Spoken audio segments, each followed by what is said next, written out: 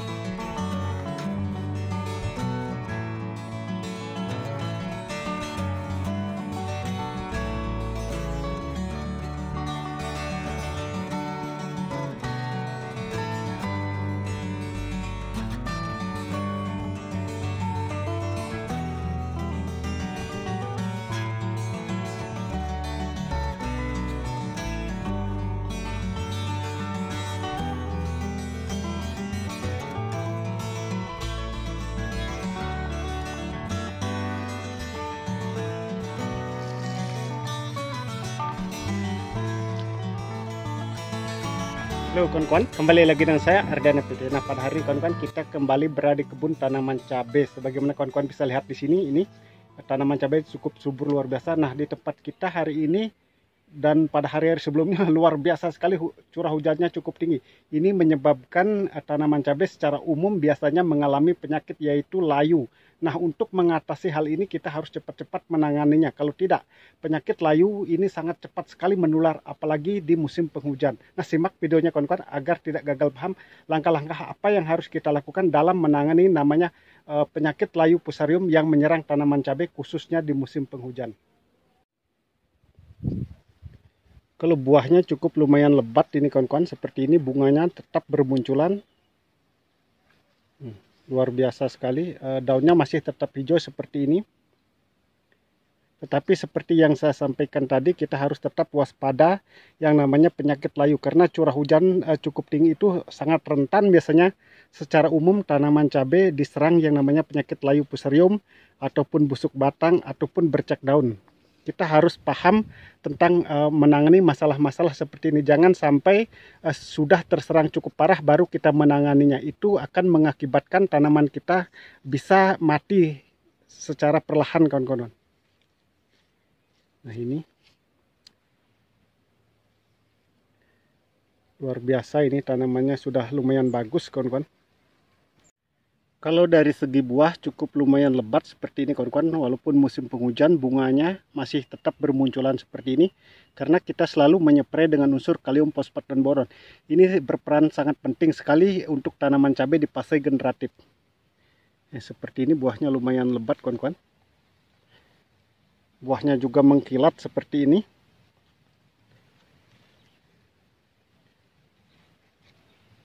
Tunasnya juga di sini uh, perantingannya tidak terlalu panjang dia pendek-pendek. Jadi kalau perantingan pendek tanaman cabai itu buahnya akan semakin lebat. Berbeda kalau perantingan panjang. Perantingan panjang itu memang tanamannya cukup tinggi tetapi buahnya biasanya agak kurang dia.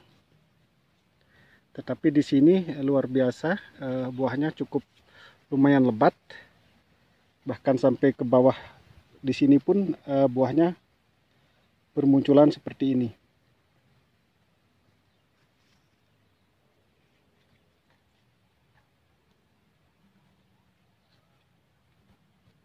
Nah seperti ini kawan-kawan contohnya yang terkena penyakit layu ini tanaman kita ada yang uh, diserang juga walaupun kita sudah melakukan pengocoran dengan kalsium dan uh, bahan-bahan lainnya namanya musim penghujan yang luar biasa uh, pasti ada saja yang kena. Nah seperti ini contohnya yang kena layu fusarium ini kalau kita tidak cepat mengatasinya ini biasanya menular. Dan kita tidak melakukan pencabutan kawan-kawan. Dari pengalaman yang kita lakukan kalau kita cabut malah itu akan sangat cepat sekali menular. Kita biarkan saja tetapi kita akan berikan perlakuan khusus dia.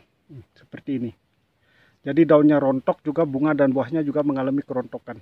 Ini padahal sudah ada merah-merahnya seperti ini. Hmm, seperti ini. Ini harus cepat-cepat kita tangani secara maksimal kawan-kawan jika tidak seperti yang saya sampaikan tadi bisa menular penyakit seperti ini. Apalagi curah hujan yang cukup tinggi itu dikarenakan salah satu faktornya. Dan juga karena hujan cukup tinggi biasanya pH di dalam tanah ini akan mengalami drop. Dengan dropnya maka uh, akan sangat lembab sekali bedengan sehingga jamur itu sangat cepat sekali berkembang di dalam bedengan dan menyerang uh, tanaman cabai. Maka terjadi seperti ini dia kalau di sampingnya masih bagus seperti ini buahnya masih cukup lebat kawan-kawan pengocoran hari ini yang bertujuan untuk mencegah daripada layu pada tanaman cabai eh, diakibatkan curah hujan yang cukup tinggi dan menyebabkan pH tanah drop kita memakai pupuk kalsium ditambah asam humat yaitu kita memakai kalha. Ini sangat bagus sekali antisipasi pencegahan eh, penyakit layu pada tanaman cabai. Di sini kalsium sangat bagus sekali untuk menguatkan batang, anti rontok bunga dan buah dan juga asam humatnya sangat bagus sekali menaikkan uh, daripada pH tanah. Nah, alat kocor yang kita pakai hari ini seperti kawan-kawan ini sudah banyak dijual di toko pertanian, di online juga sudah banyak dan kita mempersiapkan ember ini. Ini ukuran uh, airnya kurang lebih 20 liter kawan-kawan. Nah, dosis yang kita pakai daripada uh, kalsium asam, humat kalha kita memakai 5 sendok ini kawan-kawan karena ini musim penghujan. Nah, seperti ini. Satu, dua, tiga, empat, lima. Nah, kita aduk dulu biar merata. Baru kita akan tuangkan ke alat kocor seperti ini. Nah, biar bagus dia merata, kawan-kawan. maaf ini agak goyang. Kita tidak membawa tripod ini. Kita sendirian ini. Nah sudah seperti itu. Kita pindah dulu ini kalhanya. Kita pakai gayung seperti ini. Nah biar dia tidak tumpah